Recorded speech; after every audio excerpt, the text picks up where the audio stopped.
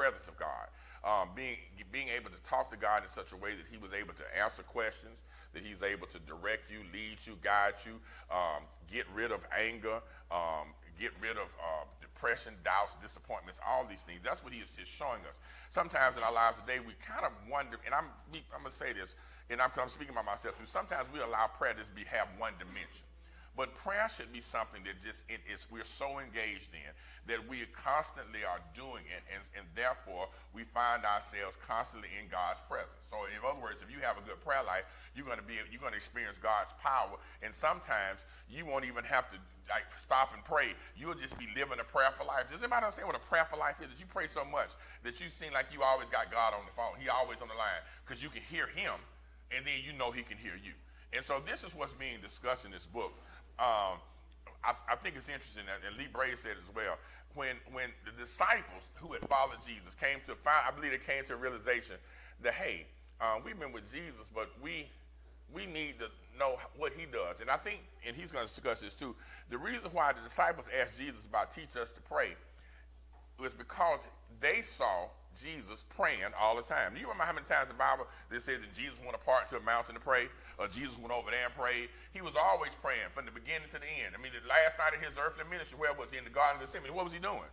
He was praying. And so the disciples early on saw that there was something about Jesus, and I believe it was even before they fully understood that he was the Savior of the world. They, they, they knew he was special. They knew that having seen what happened with John the Baptist and the heavens opening and and, and God saying, This is my beloved son, whom I will please. Having seen that, they knew that he was special from God, but they didn't understand the fullness of his work, yet they saw him pray.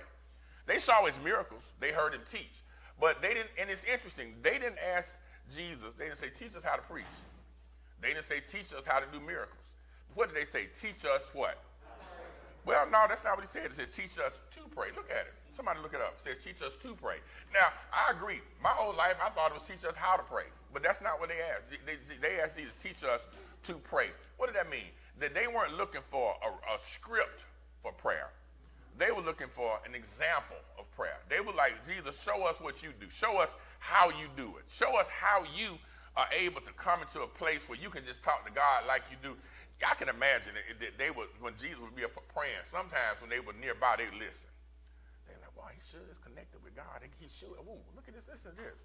It could probably feel the power between God the Father and God the Son. And they just said, Lord, show us, teach us to pray. Teach us to pray. Teach us so that we can have the same encounter with God, with your Father, as you do. And so that's what I think is important. I'm going to let y'all read the introduction um, yourselves at your leisure.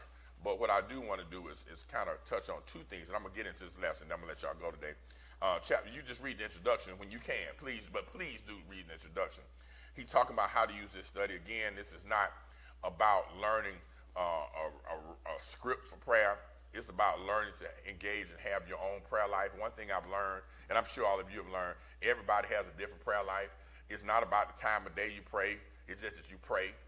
It's not about how you pray, like if you stand and sit and laying down. You know, sometimes you're going to, wherever the Spirit moves you, but it's not like one prayer is going higher than the other one. It's about the fact that you do what? You pray. And, and so this is what this is about. And, and, and, again, moving us to a place where we understand that we can pray about everything. We read it, you pray without ceasing, but we need to know we can pray about everything, anything. We can come to God, and we'll see this in some of our examples of prayer. Um, um, that we can pray and go to God and approach God on, in any situation. in depth. Right. But as you surrender now, you to the point you like, Daddy, uh, he knows it already. Yeah. But now I can just really go ahead and express it to him. Yeah. Without shame. Right. Without remorse.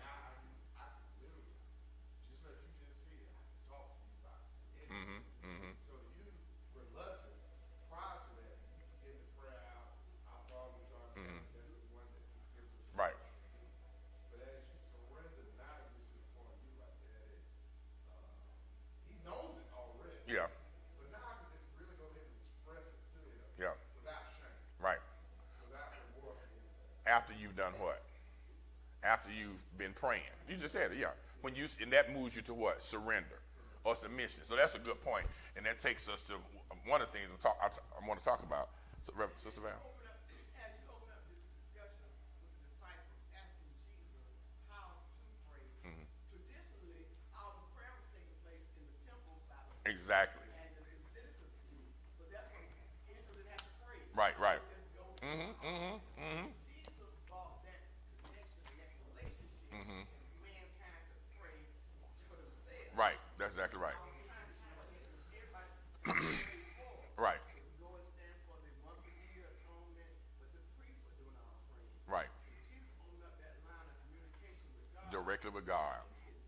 That's exactly right. That's exactly right. So I'm gonna tell this quick story. I think I may have may have mentioned this once before, but one of the things I, one of my close friends, and we were been friends since we were in college, and they used to tease me. I King after he prayed real hard.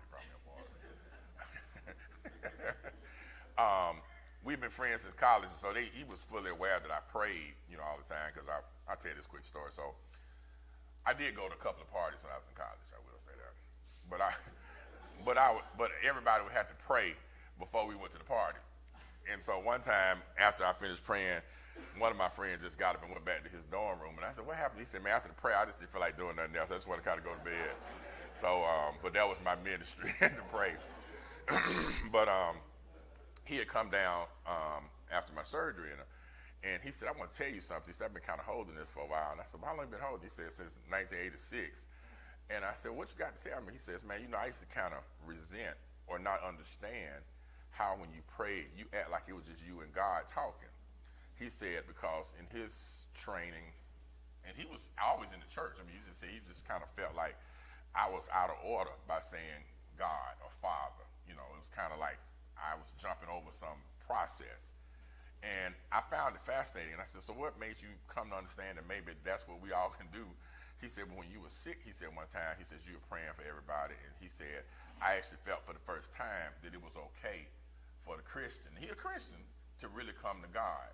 He said it wasn't about, you know, what you said in the words, it was just knowing that God was there to have a conversation with. And I was glad he got it. I'm glad. I'm sorry it took us that long to have that conversation, but I was glad he got it because I said that there it is. When you have a relationship with God and you sur- surrender, it's not about you being perfect. It's not about you being, you know, better than anybody else. It's just about your relationship. It's just like sometimes you have a relationship with a friend, your relationship is deeper than somebody else's, even though they might be around them all the time. It's about how much, how willing you are to take everything to the Lord in prayer. What's the song say? Oh, what peace? Oh, what needless pain? Why? Everything to God in prayer. If we're willing to carry everything to God in prayer, God is is is that way that He wants us. He's how many times we say, "Cast your cares upon the Lord." Why? Because He cares for us. And, and so I'm saying that to say this is the posture that we all must take. But let me preface and say this again. But we also must share this with other believers. Now I'm talking to my friend. He's been, been, he's been a believer, you know, for, for, for at least 30 some years, but just never got past the process of prayer into the relationship part of prayer. That, that's that, and that's the hold up with a whole lot of people. A whole lot of people get to praying, start praying, and just, it looks so big, like I can't even do this. It's just too much. How do I talk to God? And not understanding that God is not written down some particular words. We say what God wants us to do more than anything else is come to Him, to approach Him, to have an encounter with Him, and that's something that we have to take the steps on. We have to we have to become. Well, James said, if you draw near to God, He'll. So, but we have to do what? And how do we draw near? Through our prayer. That's how we draw near. So, and, and, and, the other thing I want us to understand before we get to this lesson is praying is not us moving God. We're not moving God when we pray. We're not getting, getting God to go our way. Prayer is as we pour out, back to what Dean Sheffield said, is submit and surrender. Prayer opens the door so God can do what? Move us. Get us right where he wants us to be. So, so I want us to understand that when you go to God, sometimes if you really, I'm sure everybody has experienced that. Sometimes you go to God and you go one way and try to say something, and next thing you know, you end up over here because He was saying, "No, that's not what I want you to be." But because you were surrendered, you end up right where He wants you to be. How many of us have ever prayed a prayer? You start out praying about one thing, God told you that you need to be somewhere else in that prayer, and then you were way over there. It was because you came into the prayer with a surrendered heart. And, and, that's what I think. And that's why, you know, sometimes y'all people say, well, I've been praying the Lord didn't do this. The Lord probably was telling them what to do, but they were too busy telling God what to do. And as a result, they couldn't hear what God was saying and, and end up not getting their prayers because the prayer they were asking wasn't what God wanted them to do. As we pray according to God's will, what's going to happen? His will is going to be done as we pray according. So the, the key for us is getting where he wants us to be so that we can pray according to his will. Because one thing we know, God's will will be will be done. All right, all right. That wasn't even in the book. That was just some Lord gave me today on the plane. Okay, let's get let's look at chapter one. I want to we're gonna and we're gonna do a, we're gonna do this different. We're gonna do this with some Q and A. So either one or two things gonna happen. Either people gonna raise their hand. I'm gonna start pointing at people. So that means everybody gotta be ready. Okay, everybody gotta be ready. Everybody ready? All right, gotta be ready. Chap, chapter one, verse, uh, page 11. That's what we're gonna start at page 11. Um, learning from Nehemiah. And um, let me see what time how much time frame I got. It's 10:31. So let's give us. Let's say this is going to go the next 40 minutes. We're going to work hard. Okay. All right. So I'm gonna read a little bit, and I'm gonna be ready to get some other people to read. So we, we know most of this, but I'm gonna give background anyway. Nehemiah was an exiled Jew, and his prayers propelled him into favor with Artaxerxes, his, his, his boss, the king of Persia. And he was in a position of authority because he was a royal cupbearer, and as a result, he had proximity, um, be able to talk to the king. And as a result of his conversation with the king, the heart was moved to allow him to return to Jerusalem to rebuild he was in a position of authority. Let me take, go outside the book for a minute and go to the scripture. The Bible says in chapter 1 of Nehemiah that, that Nehemiah, and, was, and I want to be clear, Nehemiah never lived in, never lived in Jerusalem. He was born in captivity and, and came in favor with Artaxerxes while he was in captivity. Yet he had such a love for God that the idea of, of Jerusalem, the place where God has settled his people and God's where God had initially been present um, uh, for his people that in Jerusalem, because Jerusalem was ransacked and burned down, the walls were broken and burned down, that he, he, he, he was sad about it. And so in chapter one, two or three things we pick out, a couple of friends, a couple of guys had gone to Jerusalem, had come back, and he said, well, how's everything in Jerusalem? He said, it's, it's terrible. The walls are knocked down, the walls are burned, it's awful there. And, and it hurt him to the point where the Bible says he was sad. He just, it, really, the Bible says his legs gave out. He, in, in read chapter one, you get a man, he, he shook and he ended up falling down really because of the fact that that he was so hurt that a place he had never been, but because he loved God so much, uh, was in disrepair. Now, here's the key about that. It wasn't just the fact that the city was in disrepair that moved Nehemiah. It was the fact that as a result of the city being in disrepair, that the people were exposed. They were ashamed or embarrassed, and they were at, at, at risk of being overtaken by other nations around them. So his real concern wasn't just the walls, it was God's people. The idea of God's people being shamed, that bothered him. Disgraced, that bothered him. The, real, the mere fact that they were um, potential victims for all the other nations around them, that hurt him. And as a result of his pain, and so let me pause here. So what we see is a man that's in pain, a man that's disappointed, a man that's so, a man in sorrow. Now, anybody here ever felt pain? Anybody here faced with sorrow, some situation where you were just disappointed, you just like, oh, I can't even believe this. It's, oh man. And it could have been about a number of things. You, you ask a question, Sheffield? Or you just raise your hand? Okay. And, and so this prayer that we're about to see, the Nehemiah prays, is a prayer out of that space. Now we're going to touch on a lot of them, but that prayer was a prayer out of a dark place. It was out of a, a deep spiritual disappointment. He was in, that's where he was. He was he was concerned. And see, when you love God, you're going to love God's people. That's how it works. Now, if you don't love God's people, then you need to ask yourself a couple of key questions. But if you love God, you're going to love God's people. And then if you love God, you're going to love God's people, and you're going to love the purpose that God has for his people. So you can't, if you love God, you're not going to be satisfied with somebody, one of God's people that's in pain or in sorrow or going through something. You're certainly not going to be, and if we can talk turkey, you're not even going to be feel good if they go in the wrong direction. You know, if you love God's people, you ain't gonna be able to see nobody, you know, falling off the cliff. You be like, ha ha. No, you're gonna care about that thing, and you're gonna be praying and interceding. So I'm, I'm using all of these to say that he was in a uh, in a in a tough spot. His his heart was hurt because of God's people being the condition they were in, and because of God's purpose. This this this city that God had made for His people um, was in disrepair. Now let's do this. Um, who got the Bible with them? They don't mind reading that. Mother B, if you would read Nehemiah chapter 1, just the first four verses, if you would.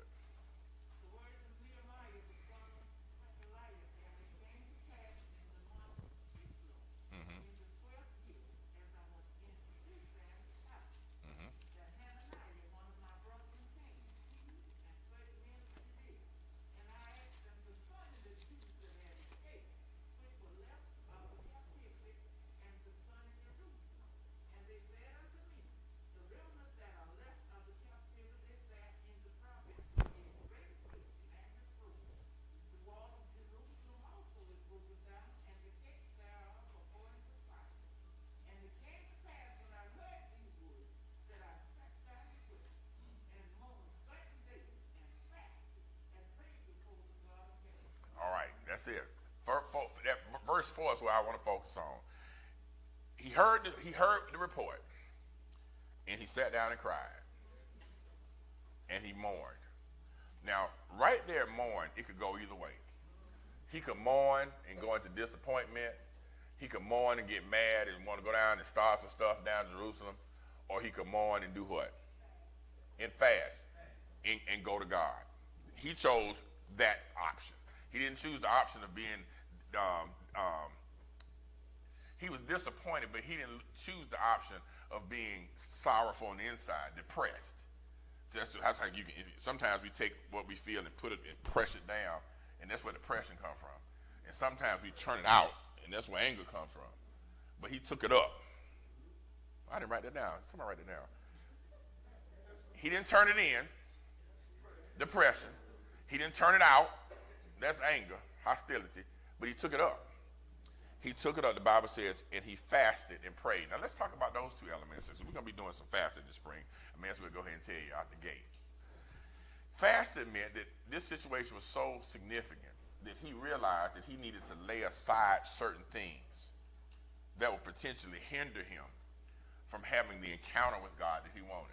That, that's what it was. This, this fasting for him and, and was not just um, an act of of, of, physical, There was a spiritual action that he laid aside. He said, I really need to talk to God. And, and I'm not, you know, I, I, know that I need a clear signal. And I need some stuff that's in my life. And, and, and it, it is, you know, sometimes it's bad stuff. Sometimes it's just something that you come become accustomed to. That you say, I'm going to move that to the side. And during that time, I'm going to focus on God. And it's kind of a meditative thing. Fasting and praying have to go together. You can't really if you if you praying and fasting, I'm gonna say if you fasting, the purpose of that fast is to, is to pray. If you're not praying when you fast, you're just on a diet.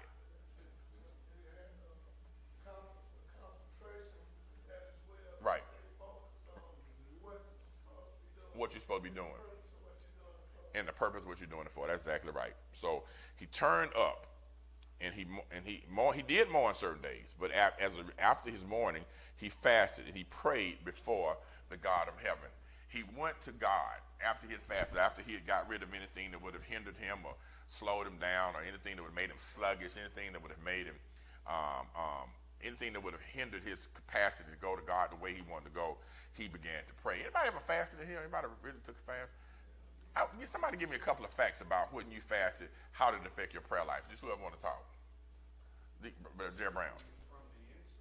Say it one more time, sorry. Stronger from the inside, okay. Okay, that's good one. Reverend Edwards. Okay. Mm-hmm.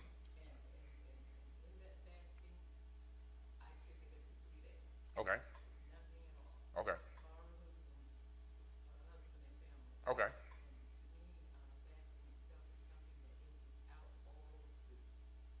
Yeah. I got you. It's all clear. So strength, clarity. Your, your, your faith increasing, okay. As a result of the fast. Okay, Dean Thomas?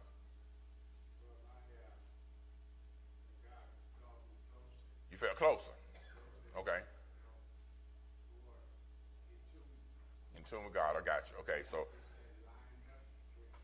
so your alignment came as you put some other stuff out the way. All right. Anybody else want to? Okay. Well, that's a good one.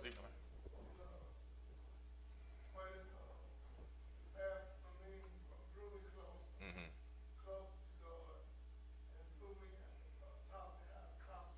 Okay.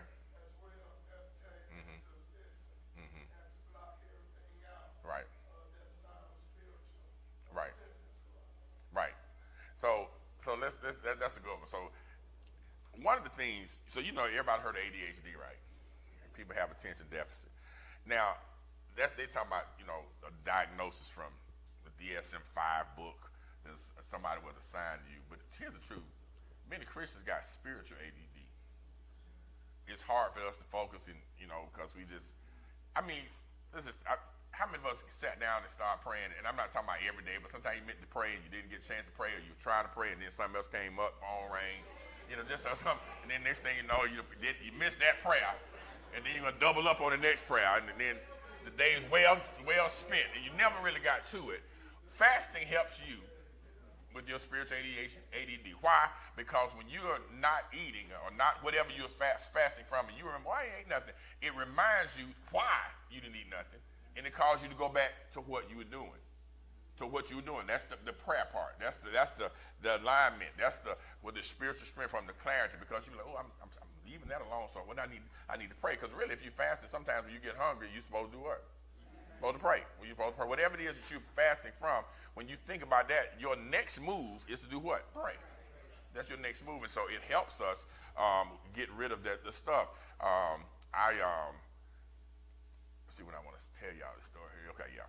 Um, Deacon Downey actually put this best, and I've said it before and I say it again.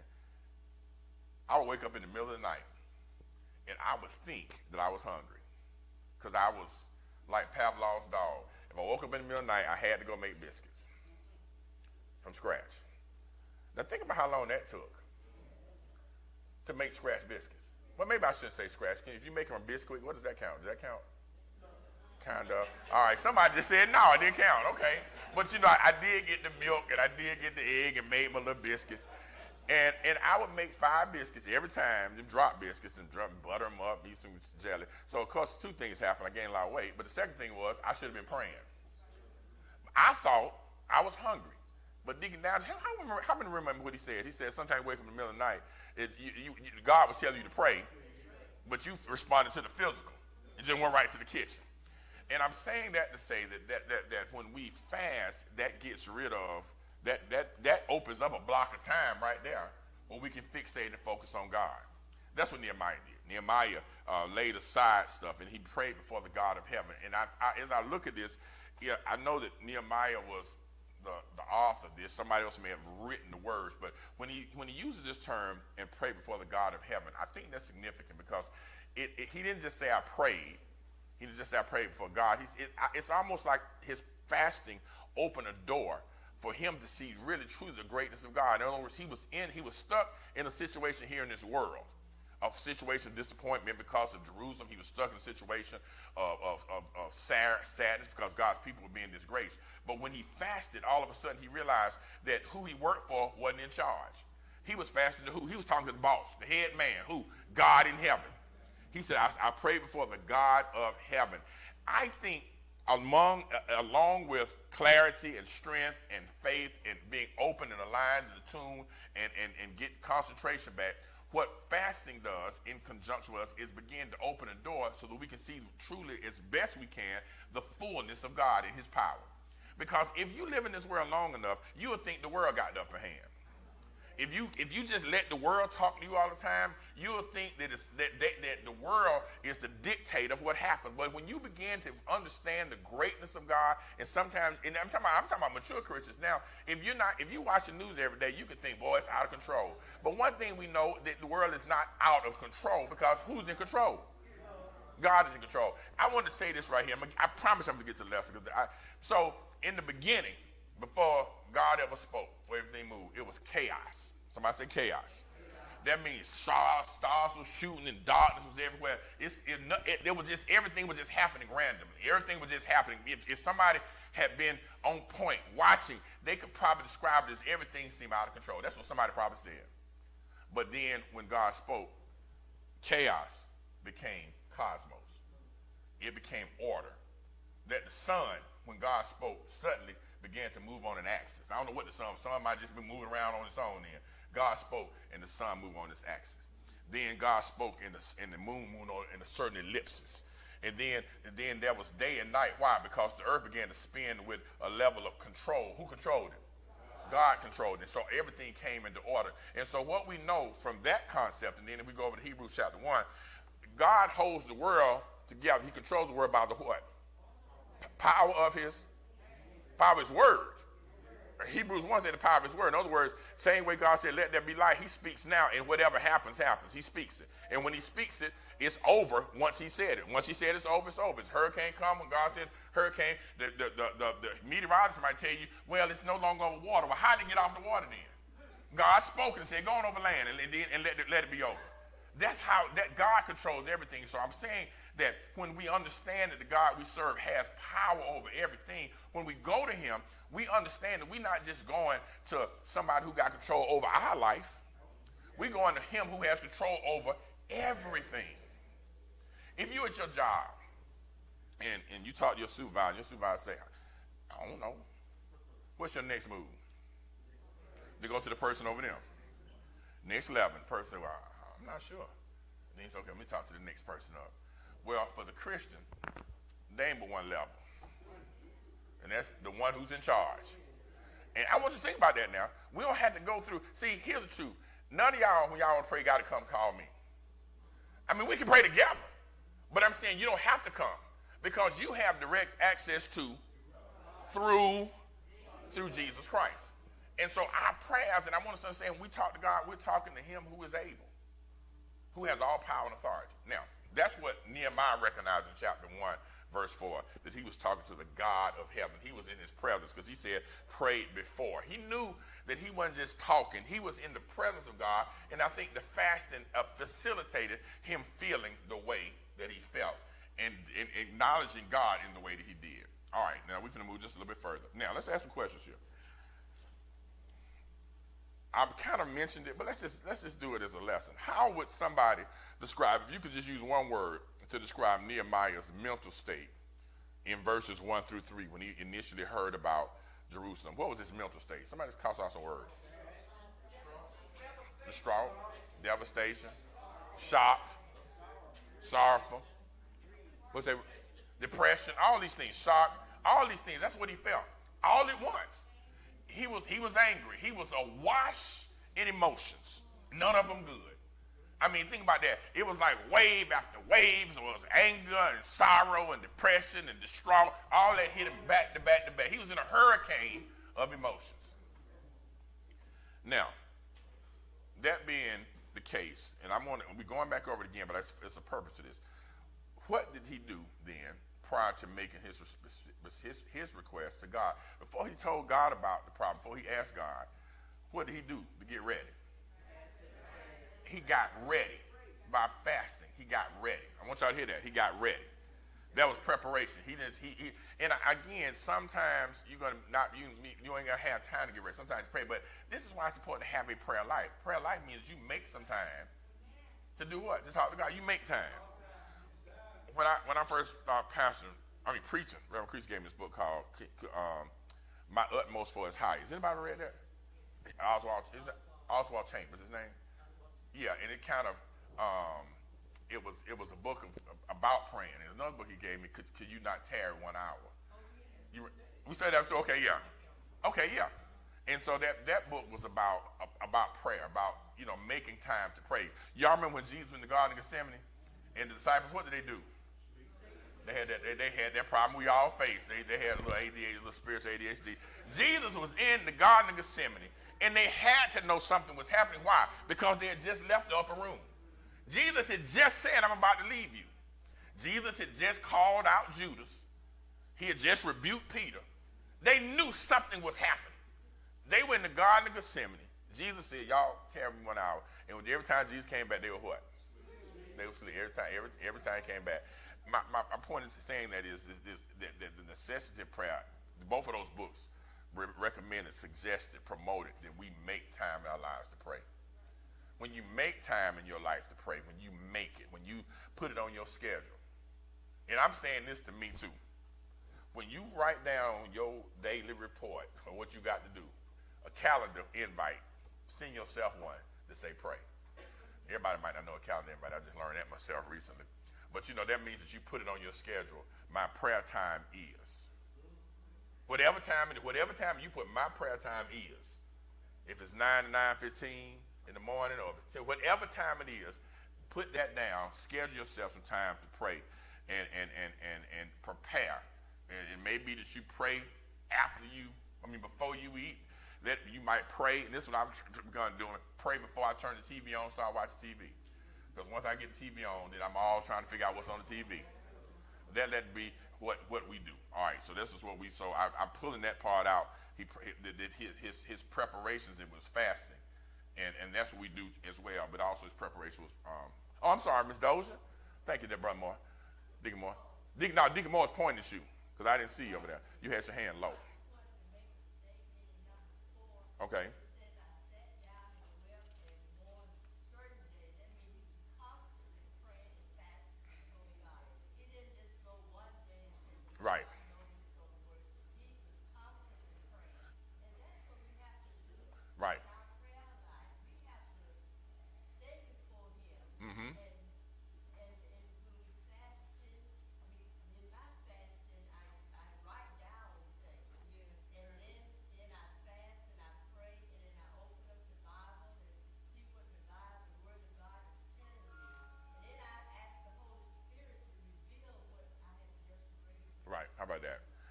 Good. That's a good. That's that's that's your preparation to get the right to get. So you bring paper, and a pen, pen and paper, and write. And, and so that's that's a good example. That's a good example of preparation and prayer. So when and, and I'm just reaching out here. So when you write down, when you bring your pen and paper, that means you expecting to hear. Mm-hmm. Mm-hmm. How about that? Well, somebody should jot that down. I'm jotting that down. That's a good. That's a good preparation, pre, pre-prayer preparation. Thank you, Sister Dozier, for sharing that. That's a good one, Reverend Evans. It's prayer partner. Okay.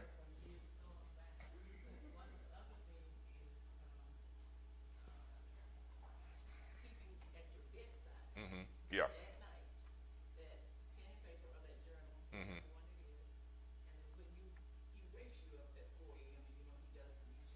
Mm-hmm. Mm-hmm. Right. Right. That's a good point. Mm-hmm.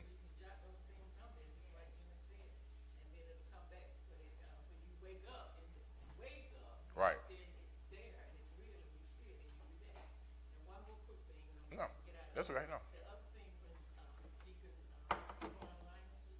Mm-hmm. Mm-hmm. Mm-hmm. Hand in hand. Yeah. Mm-hmm. Because while you're, when you're fasting, that meditation, you got to set your mind and Mhm. your body in a phase of, of relaxation. Mhm. So that you kind of blot out everything, So that you can what? so that you can feel and see God. Yeah, and hear and hear Him. That's it. That's what we're looking for, right? That's right. That's right. So the, the meditation, Reverend, I was thinking, is is key to being able to hear because when you're praying, you should be looking for an answer. But it's gonna be on time. That's right. And we're gonna go back to meditation. Is that Reverend Leslie?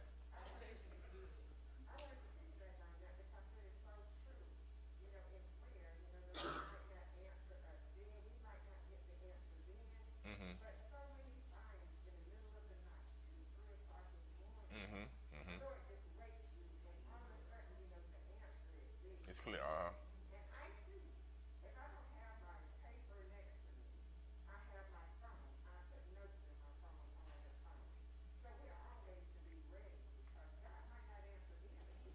He gonna answer. I like that. He gonna answer. Everybody say that. He gonna answer. Okay, now we got some expectations. He gonna answer. He gonna answer. And so we just had to be ready um, to receive his answer. And as Reverend Leslie and Reverend Evans and Sister Doe said, you be ready to jot down what the Lord, what the answer was. Because the, the human mind, A, is, is, is frail and finite. But the second thing is, remember who else fighting against you. The enemy wants to make you forget. He wants to get you sidetracked. There have been so many times I know personally that I was the Lord said something before I get up, I had something else that come up. I had to take a call. And so I become to learn that the enemy is fighting against us hearing the direct message from God. It's almost like static. If you got a, a, a, a you remember CBs and remember CB, there was somebody be clicking it and you couldn't hear what they were saying. Satan's job to click, so we can't hear what God is telling us. That's a good point. Those are good, good prayer points right there. Good prayer points. Yes, sir. Then jump in, maybe square away, but it's still preparation. Mhm. And then the third, knowing that, uh, Satan walking around every day, all day. Mhm. As soon as your eyes open up in the bed, Yeah. you know, be ready. Be ready. Be ready. You know, as Mhm. soon as it's open up, he's on, he's on this. He's, he's to, to, to, distract. Let's let's look at Nehemiah's prayer. It, be, it begins in verse five, and it goes to really verse 11. So let's do this. Let's break it into bite-sized morsels, like a little tiny. But uh, let me see.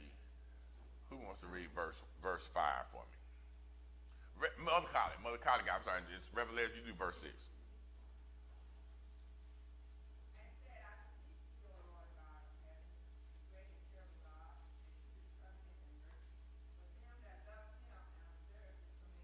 All right. So look how he started.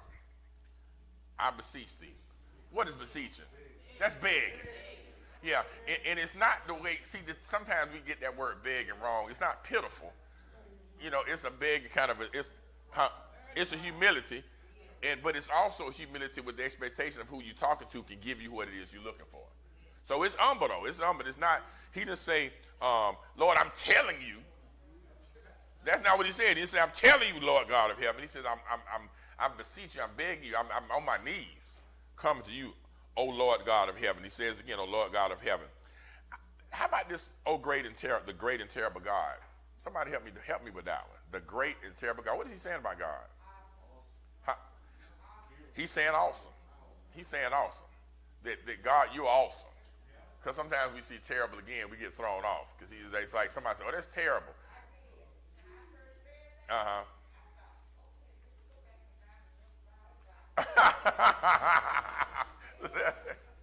but you came to learn. It was just, Lord God, you're awesome.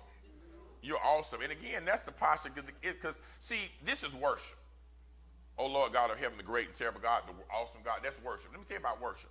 And, and, and so, you, don't think that worship is just on Sunday morning, first of all. And worship ain't always accompanied by music. Worship is from here from the heart directed to God. But let me tell you what worship does. How many have ever looked at something? Let's, let's say you looked at you you at a mountain. Everybody might have been to Stone Mountain. You looked you looked you looked out the mountain. You could see all of Atlanta. But how many of them got those that little thing they got up there where you can put some money in there and it's like a telescope type thing, and you can see things what clear. You can see like it was close up. See, worship does that in our spirits as relates to God. The more we worship God, the, the more we're, we're drawing closer to Him and we can see and become to know him better. Every time you say, God, you're mine, like that's why I can't, I can never stop myself. I know y'all probably Pastor, I was always saying God omniscient. But I love the fact that he knows everything. We love the fact that he has all power. So every time we say it, every time I say it, I feel close to God because I, I, I remind myself that I'm not talking to a limited God. I'm talking to an unlimited God. Whatever he wants to do, he can do. I was talking to somebody one time who had looked at the Hubble telescope, and I think I've shared this with y'all, and they, they looked at the moon. And we can see the moon, but with the Hubble telescope, you can see craters. You can see every little contour of the moon that the Hubble telescope would allow, and it's much better than the natural eye. So what I'm saying is worship moves us out of looking through this lens It brings us to a spiritual lens where we can see more and know more and understand more about God. So this is why he started off with worship because that prepped him. That prepped him to understand who he was talking to.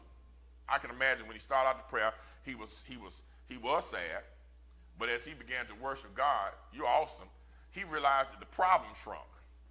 Can you see that? The problem shrunk. When you realize, you know what? I'm talking to God. I ain't, I'm not talking to Joe Smith. I'm talking to God. And this problem is not too big for him. I don't even know why I'm worried about it. That's, how many of us ever start worshiping God and, and what you're worried about began to shrink down to little or nothing?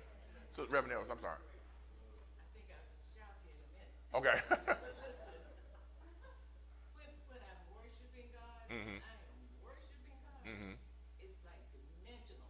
Mm hmm It's not like it's like I'm not in this sphere. Right, right. Where we are now. It's like I'm there. Right, right. I mean, I've been there. Right. I have been there, and it's it's, it's a whole different, a whole different feeling. The only word I can come up with. Because when you worship God, you out of yourself. Out of myself. Right. If you haven't done that, just keep worship God. Worship it, and, and, and it'll move you out of you. So what the limitations that we have in this body, the limitations we have, quite frankly, in our minds, are blown away when we engage in worship. See, Sunday worship is a practice. I, I, it's just how to you learn how to worship, but you, you take that home and worship every day. There's no no no no. It's not like you can over worship God. You can't overdo it. And when you, but like as Reverend was saying, when you do it, it moves you out of your own space into His presence. And we talked about that. We do a whole series on living in his presence. Because in the presence of God is everything we need. And so worship gets us where? Into his presence. And so now, Nehemiah, I can feel him now. Nehemiah is worshiping God in this in his right off the rip. And that changed probably how he continued in that prayer. Because in verse 6, Revelation, what does he say?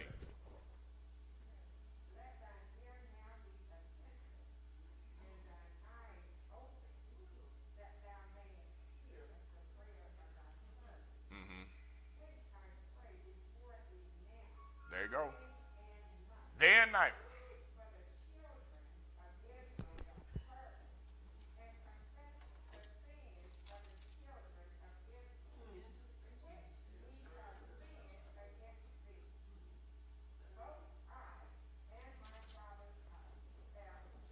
See, that's what happens when you worship. All of a sudden, everything becomes clear.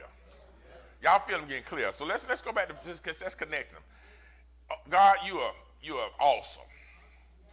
And, and, and then it's like he says, and, and recognize God, you're awesome. I also recognize this God, you keep covenant. You keep your promises. You made the covenant, you maintain the covenant. And then, God, you have mercy. You have love and kindness for anybody that loves you and does what you say do. So now he's, he's, he's, he's gone closer to God, but in doing so, it's get him, giving him the posture now to really talk to God. What does he say? Lord, I'm talking to you. I'm, I'm, Lord, I'm here. Now, hear my prayer. Hear my prayer. And, and I, when I was younger, I used to think that was just presumptuous, but now I've come to understand that we can ask God, God, please hear my prayer. That's not offensive to God. Lord, hear my prayer. Be attentive and, and, and look and see what I'm saying, uh, and that thou mayest hear the prayer of thy servant. You see, where, can, you, can you imagine him kneeling down? Like, in a physical sense, by the Spirit, I'm your servant. He remind, God, I'm your servant. Now, I might work, I get a check over here from Artaxerxes, but I'm your servant. Deacon Sheffield, you work and get a check from, but who's serving you? You's God's servant. You see, that, that posture of servant is, is way deeper than working. Because, see, you know, I heard somebody say, the church, you got volunteer church. If you're a child of God, no, you ain't volunteering, you doing what? You, somebody, didn't enough people say that. I got to say it again. When you're a child of God, you're not volunteering. You are what? The same way a, a, a mother or father can say, I'm babysitting my kids. You ain't babysitting your kids. What you doing? You, you, you doing you doing right. You doing what you should be doing. I remember one of my friends was like, I got to babysit my son. And I said, that what happen when you have kids when you're 50 years old. You think you're babysitting your child. The same thing is true about us. We, we're not volunteering. We're serving God. That makes us his what? His servants. His servants. His children. We're, we're his servants and his children. So he said, I'm your servant, your child, Lord. Now he says, verse 6, I'm praying before them. I'm in your presence now. Now, going back to what Ms. Dozier said, he had been praying up in tears. This wasn't one day of prayer. How do we know that? Because this verse says, I've been praying before the when? Day and night. So he had been he had been warming up with this fasting and praying. So I imagine there was a lot of prayers that led up to the one that was recorded. It was a lot of praying that was led to the, the one that was here recorded in this book. I've been praying before you now, Lord, day and night and I'm interceding, as Reverend you said that, for who I'm praying, oh Lord God, awesome God of heaven, I'm praying not for me, but I'm praying for the children of Israel, your servants. Now, this next part is just, it's heavy. It's heavy because everybody don't want to get there where he, where he got in this. I'm sorry, Brother Brown.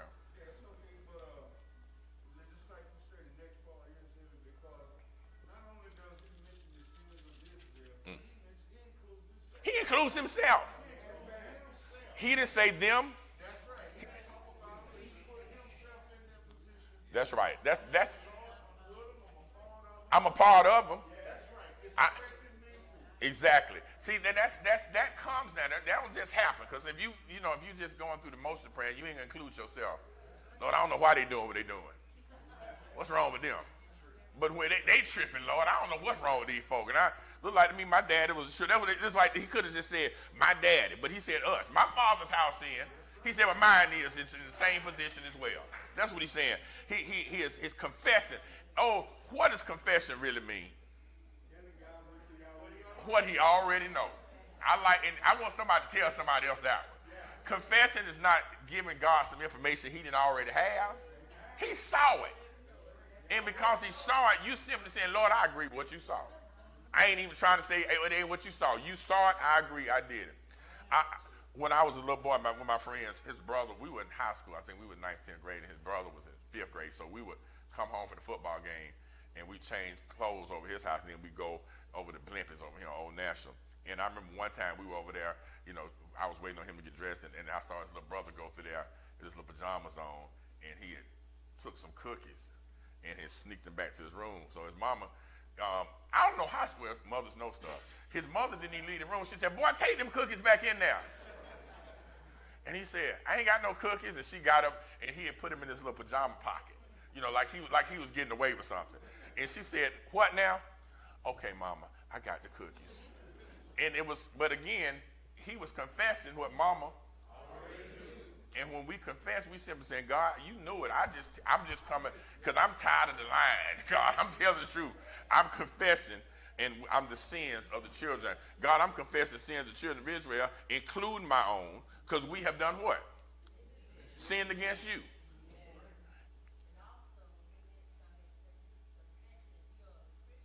Mm-hmm. It clears your spirit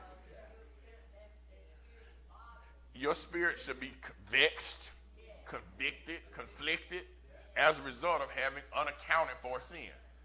Unaccounted for sin. So think about think about sin uh, as you would like um, you know like it's a spreadsheet. When you sin, it's it's on the spreadsheet, and the only way it's going to get clean from the spreadsheet, or re- reconciled, is by confession.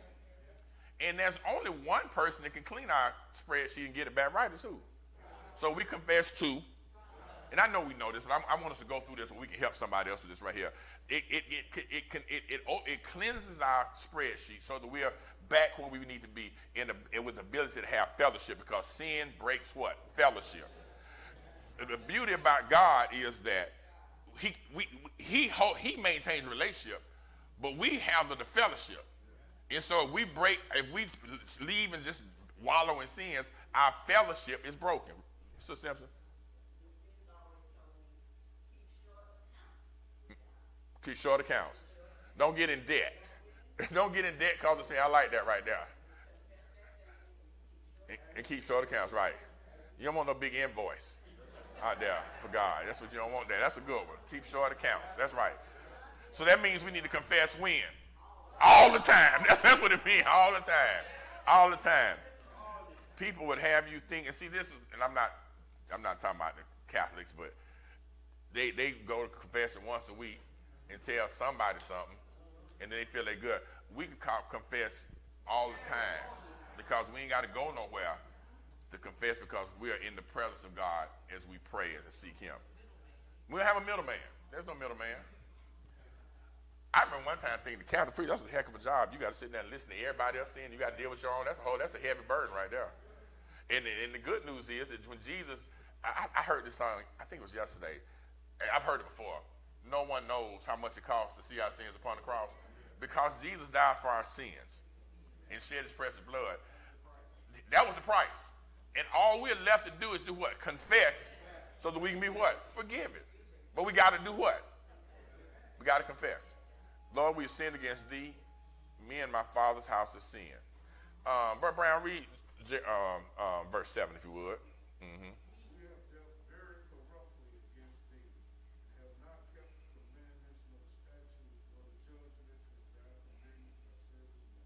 So he moves now into the specificity of the sin. In verse 6, he acknowledges and confesses sins. But verse 7, and this is uh, uh, oftentimes hard to do. Sometimes we want to, I confess I've sinned against you. But really, you know, I ain't saying you ain't got to do this in front of everybody, but you need to do it for God. Because he said he's where? Before God. Lord, here's what I've done. Here's what we have done. Lord, we have dealt very corruptly. God, as good as you've been to us, our response was corruption. What does that mean? God, as good as you've been, we have deliberately not done what you've asked us to do we have dealt very corruptly. Uh, what, what did we do? We did not keep the judgments, I'm sorry, the commandments, the statutes, the judgments. In other words, everything that God had given for his people to do, the people that decided to do what? What they wanted to do. That God, I see what you're saying, and I ain't doing none of it. That's how he dealt corruptly. And he said, and, this, what, and he said, the, word, the exact thing, God, that you told Moses to tell us, you said it.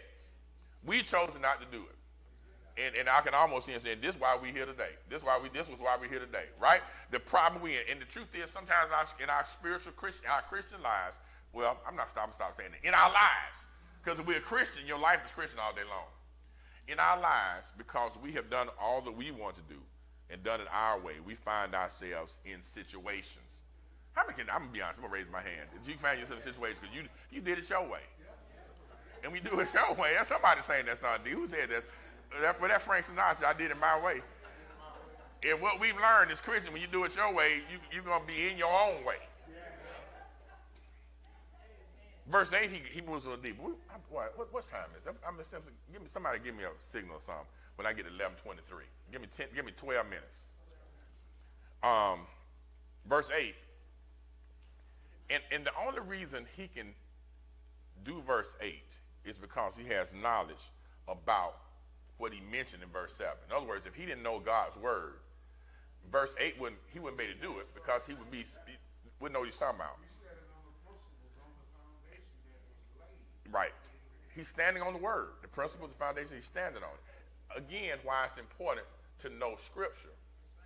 And, and, and somebody says, I don't know enough. Whatever you know, you stand on that. And as you get to know more, your foundation becomes what? It becomes stronger. Becomes stronger. So obviously, um, even while he was in, again, I remember um, Nehemiah wasn't coming back home. He was actually going home. He was in, in captivity. But he kept what? He kept the, he, he, whatever word he had, he, he knew it. And we notice in his prayer, verse, uh, Reverend Evans, read verse 8 for me. Okay. Okay. Remember, I beseech thee, beseech thee, the word that thou commandest thy servant Moses, saying, If you transgress, I will scatter you abroad among the nations. Go ahead and read verse 9 too. They go together. But, but, if you turn unto me and keep my commandments and do them, thou, though they were of you cast un- out unto the uttermost parts of the heaven, yet will I gather them from thence, and will bring them back unto the place that I have chosen to set my name there. Now, as heavy as verse 6 and 7 were, verse 8 9 is, just as heavy because he's ostensibly saying, Now, God, um, remember what you said. Remember what you said.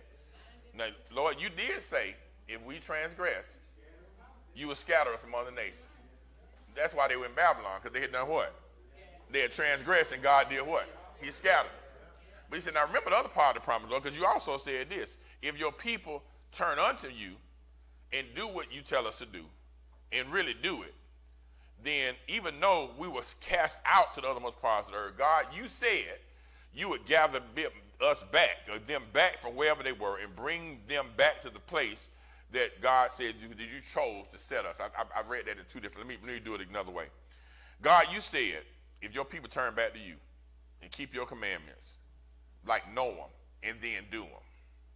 And even though, Lord, you said if we, when we, because you said you cast us out, when you, we come back to you and keep your commandments and do them, you said you would bring us back and set us right back where we were in the beginning. In this case, it's Jerusalem. God, God, you said we, we I know why we're here because we transgress, And we, I've confessed the sin, Lord, but I want to remind you that you said you bring us back. Dig more. Mm-hmm. Yep.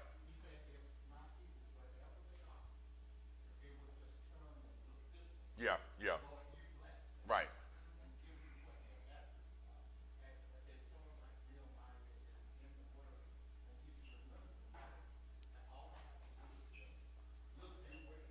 Now, who said that? Dig more.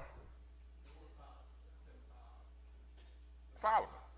No, I'm, I'm messing with you. You're right. I was gonna say let's let's verify what De- Deacon Moore said. Somebody turn Second, Second Chronicles, chapter six. Now, somebody read. I want to read. Go to Second Chronicles, chapter six. We we verify. We confirm it. So now we can tell somebody. Oh, okay.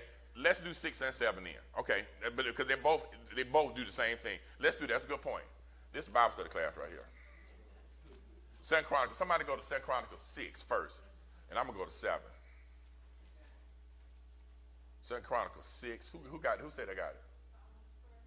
Huh? Yeah. You in six? Yeah, let's go ahead and look at um start at verse 10 for me if you want, if you if you got time. And go to 14.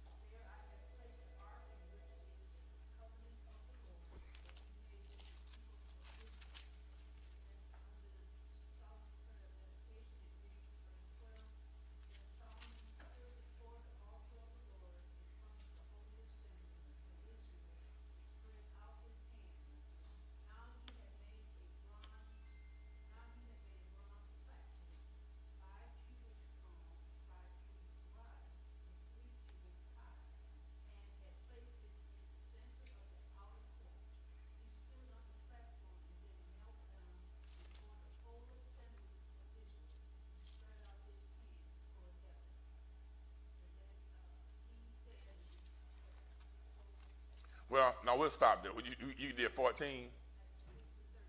Do 14.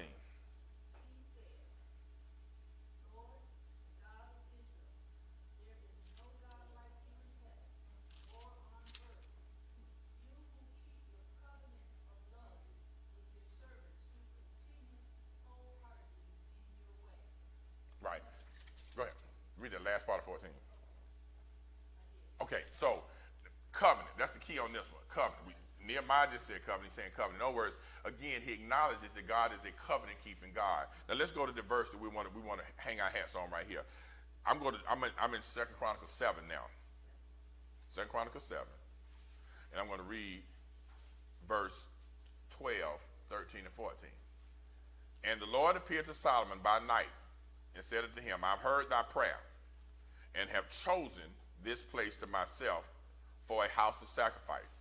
He said, If I shut up heaven that there be no rain, or if I command the locusts to devour the land, or if I send pestilence among my people. Verse 14 If my people, which are called by my name, shall humble themselves and pray and turn and seek my face and turn from their wicked ways, then God says, I will hear from heaven and forgive their sin and will heal their land. I, I read the other one, Deacon Moore, because there again, in, in Solomon's prayer, there was a foundation of the knowledge of what God had already said. So nobody's introducing a new concept to God. They're simply standing on what God has already said. And so Nehemiah does the same thing in, in this record. He is simply standing on what God said. God, you said. So God told Solomon, if my people is called by my name, shall humble themselves and, and, and, and, seek me and turn, seek that my face and turn their wicked ways, this is what I'll do. And so basically, um, Nehemiah is standing on that. He's saying, okay, now God, this is what you said you do. Now here we are. Um, we need you to do that because I, I agree that the people have in fact turned back. I've been back in Nehemiah chapter 1 now. I agree, Lord, that the people have turned from you. I've confessed. Now when I'm asking you, Lord, to do what you said you're going to do because we turn back to you, I'm asking that you would gather us from all the places that we've been scattered, from all through Babylon, and, and, and, and, and bring us back together. That's what, he, that's what he's asking God to do. You said that you would gather them from thence and bring them into the place that I've chosen to set my name. You said when you put us out of Jerusalem because of disobedience, when we turn back to you, you do what? Bring us back. Bring us back. And, and for us today, as Christians, this, the concept is true. We're not in Jerusalem, but in our, in our hearts, when we walk away from God, when we turn back to God, God is going to do what? He's going to come back and bring us back into a relationship or fellowship with Him.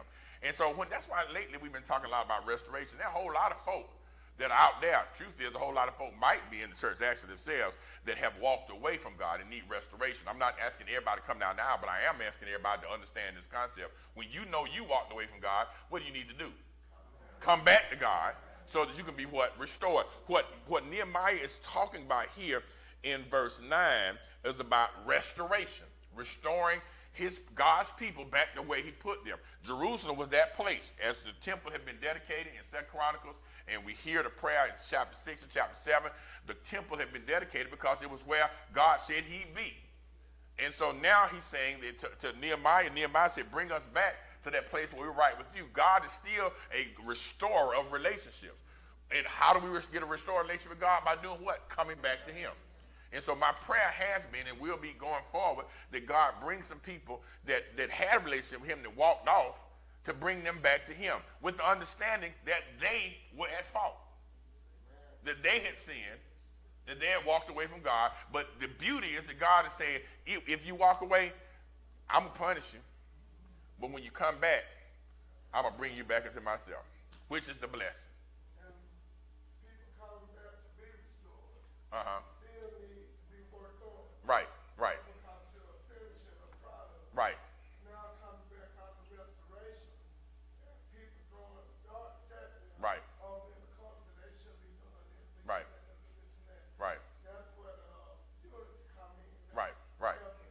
The restoration process. That's right. The, I like that. So the restoration process is not just that individual, but who has to be a part of the restoration process?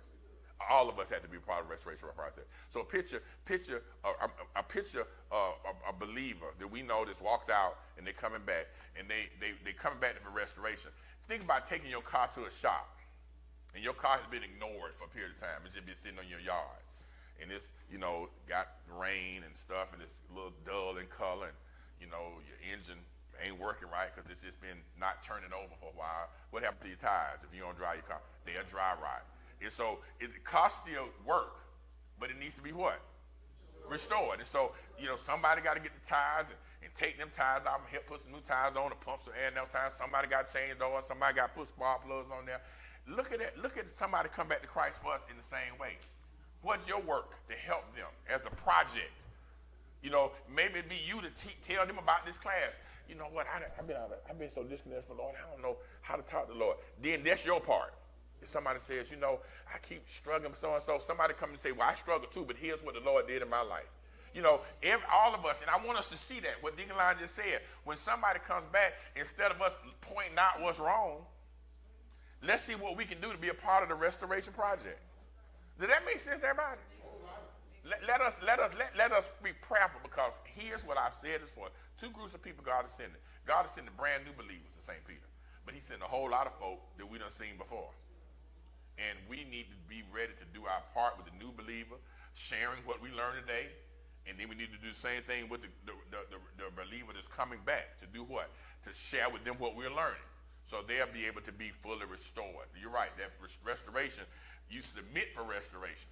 But it's a project and a process that takes place, and God has placed us here to be a part of that process. Who, Reverend, you had your hand up. I'm sorry about that.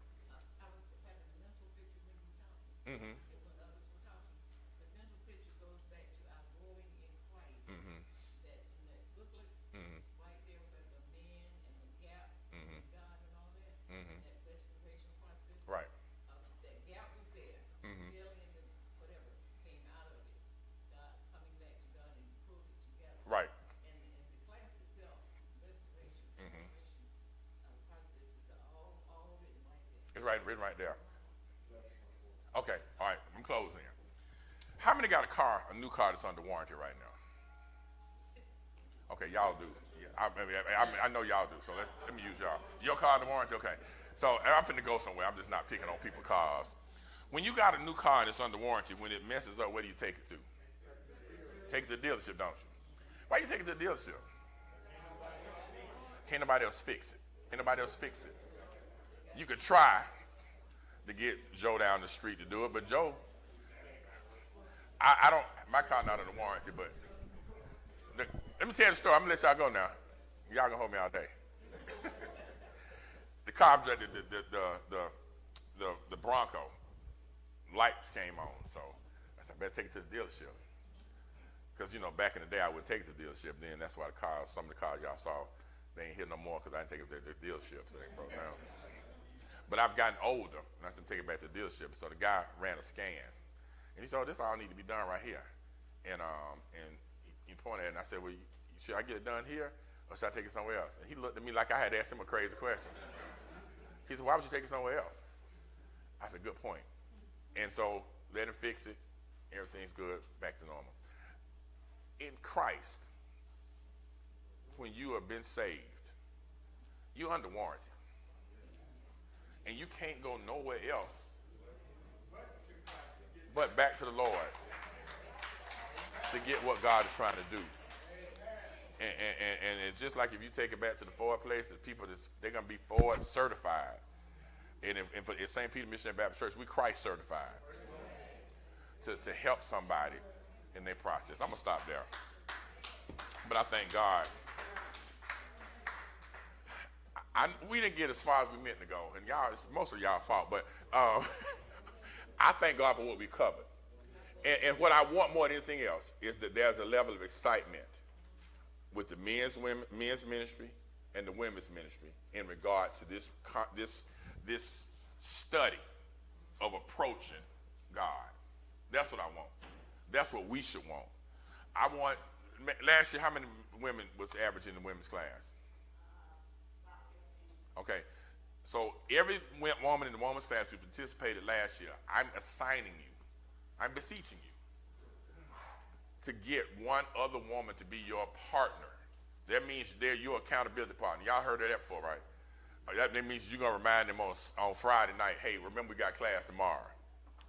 Okay, got really quiet. I'm gonna try this one more time. I'm assigning, I'm gonna get to the men next. So the men gonna be a little tougher, but women, I'm asking each one of y'all to find somebody in the church or at least a good friend, but don't not check on somebody in church. Find somebody who you're, you're gonna call them and say, hey, we got women's ministry tomorrow.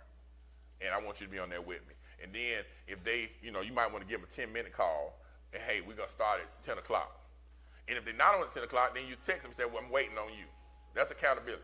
Men, same thing, but more.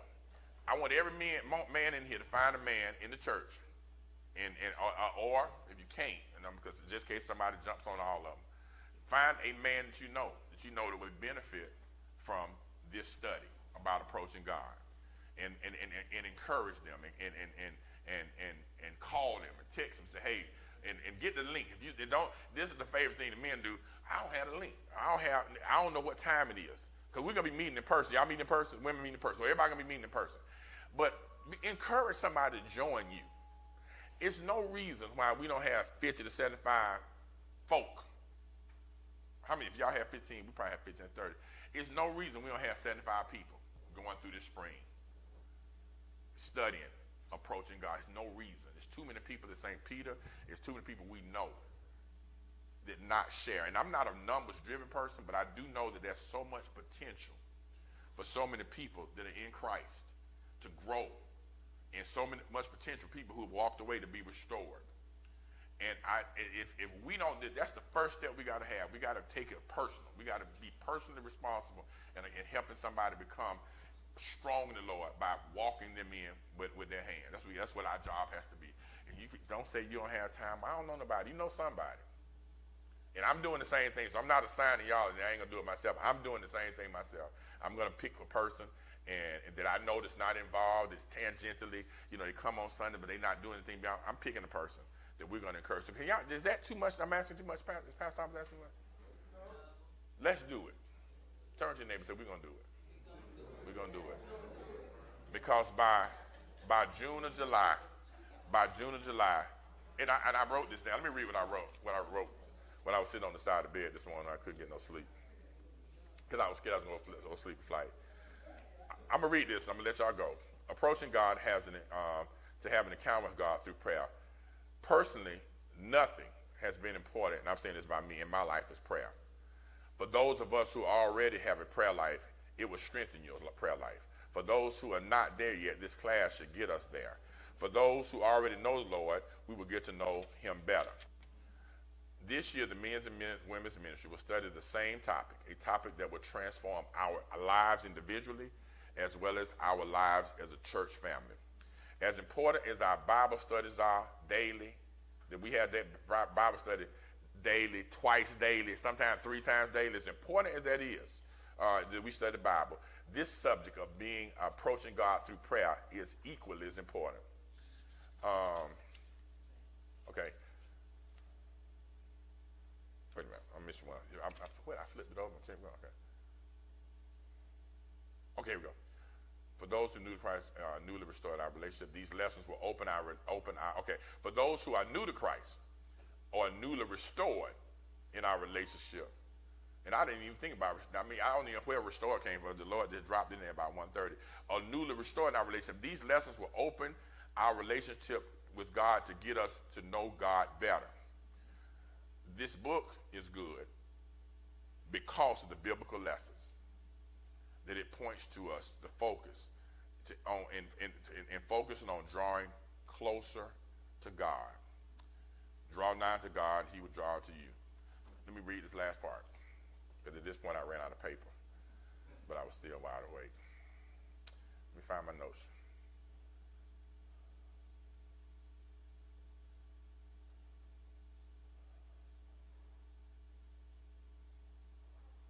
Hold on.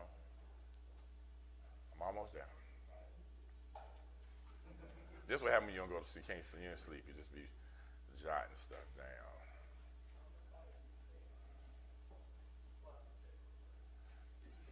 Now I was um I sang this song and hopefully the man and the woman in the room next door to me didn't hear this, but this is what the Lord laid on my heart.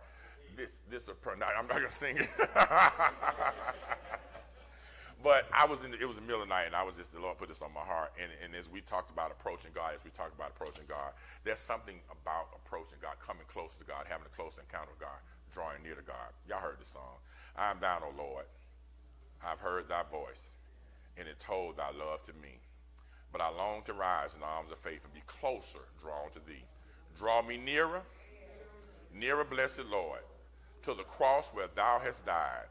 Draw me nearer, nearer, blessed Lord, to thy precious bleeding side. The next verse says, Consecrate me now to thy service by the power of grace divine. Let my soul look up with a steadfast hope, and my will be lost in thine.